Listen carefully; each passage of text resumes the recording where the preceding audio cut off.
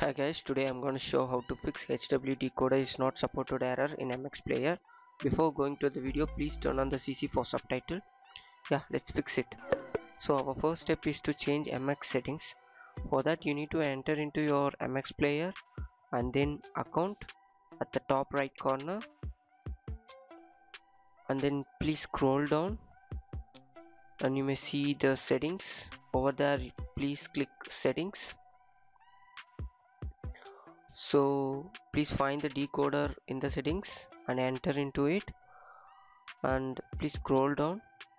Once you scroll down you may see the SW decoder for local and network. Uh, if you are using network in the sense please enable that too.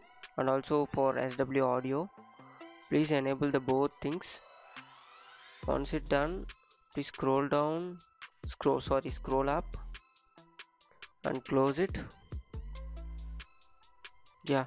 So our second step is to clear mx cache so for that you need to enter into your app info. At the bottom right corner please click and clear the cache data. Yeah once it done please come back. And the third step is to update mx player. Enter into your play store and update the mx player. If you are already updated no issues. Skip the step once it done please close all the background application and restart your system. And please check the issue is solved or not. I hope the issue will be solved.